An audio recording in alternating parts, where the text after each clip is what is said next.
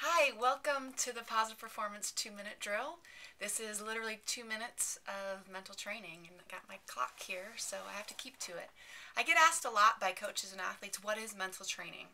And I always tell them that mental training is a lot like weightlifting. You know, it's something that you learn and then you actually have to do to develop your mind. And it's based on principles of neuroplasticity, which is basically the science behind your brain being able to be changed and being able to grow and develop new patterns. And I got into mental training when I was about 16 years old, and I had a coach tell me, You're not playing to your true potential.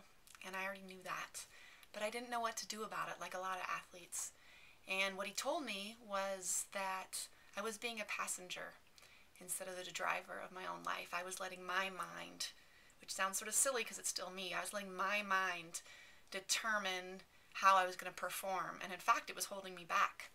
Um, so, mental training taught me how to be that driver instead of the passenger, and it really empowered me to make the changes that I really wanted in my life and in my basketball game.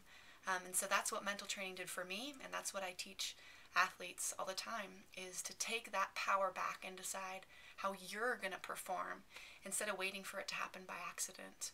And mental training allows you to do that. It teaches you exactly how to train your mind and teach your mind how to find that ideal performance state when you want to instead of sitting back and waiting for things to happen to you. So that's my two minute drill. You can find out more on our website, positiveperformancetraining.com.